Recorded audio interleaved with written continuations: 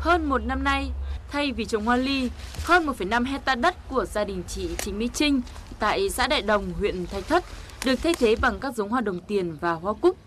Mặc dù lợi nhuận từ hoa ly được cho là cao hơn, thế nhưng những rủi ro gặp phải cũng không hề ít.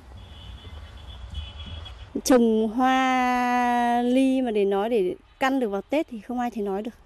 Vì nó quá khó vì thời tiết nó không như những năm trước nó có hẳn những cái quy luật nóng lạnh.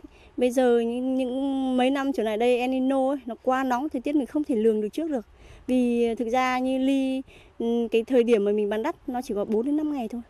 Nó từ khoảng 23, 24 cho đến tầm khoảng 28 Tết nó chơi khoảng 5 ngày thôi. Nhưng nếu thời tiết nó nóng quá, nó nở sớm, lạnh quá nó nở muộn nên là cái rủi ro nó rất là lớn.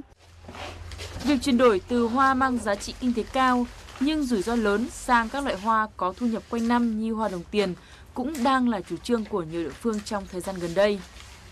Theo đánh giá, thu nhập từ những loại hoa này được cho là bền vững hơn so với những loại hoa khác. Sản xuất cây hoa đồng tiền thì à, sản xuất là một loại cây trồng được thu hoạch hoa quanh năm.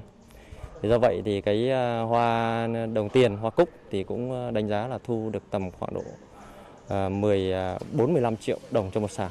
Ờ, bà con nông dân tập trung chuyển đổi sang cái ờ, cây trồng là các loại hoa thì cũng đang được mở rộng dần diện tích và cũng đang đang mang lại cái hiệu quả kinh tế ờ, thiết thực cho bà con nông dân.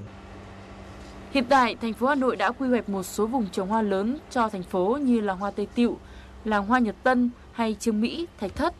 Thế nhưng nhu cầu thị hiếu của người tiêu dùng hàng năm, đặc biệt là dịp Tết thì số lượng hoa của thành phố Hà Nội là chưa đủ để cung cấp.